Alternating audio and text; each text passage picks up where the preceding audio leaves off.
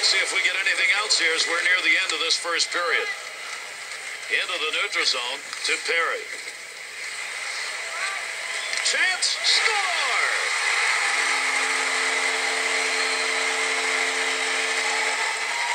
And Gary Ryan Getzlaf is truly one of the great snipers in the game. Part of being a good goal scorer is being accurate.